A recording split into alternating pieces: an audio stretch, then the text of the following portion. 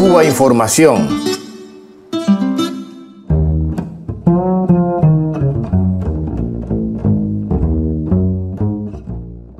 Hace unos días se anunciaba que el Congreso de Estados Unidos había cortado el financiamiento del llamado programa Cuba de la USAID, la Agencia Gubernamental para el Desarrollo Internacional.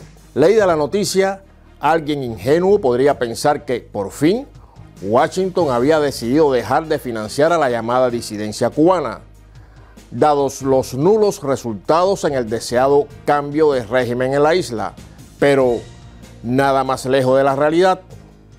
Lo que ha ocurrido es que tras escándalos de corrupción y desvío de fondos, el Congreso ha decidido cambiar el cauce del financiamiento a sus peones en Cuba.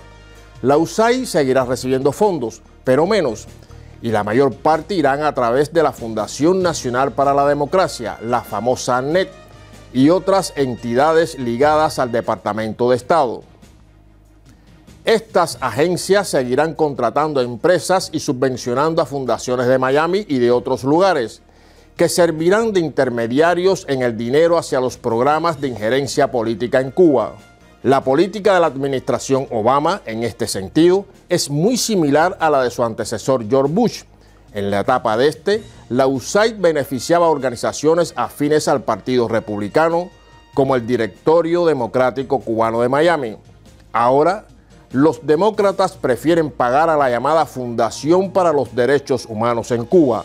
Esta financia, por ejemplo, las giras internacionales de las principales figuras de la disidencia cubana, como es el caso de la bloguera Joanny Sánchez o de Antonio Rodiles.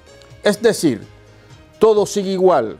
La lluvia de dólares para fabricar en Cuba una oposición absolutamente artificial sin el menor calado social sigue igualita que siempre.